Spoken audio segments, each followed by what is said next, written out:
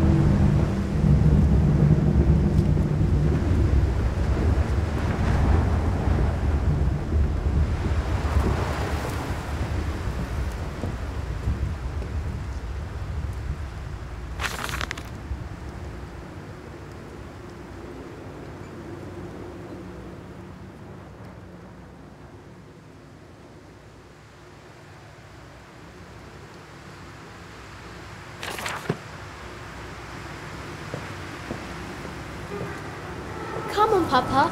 Let's climb this one. I can see more pictures at the top.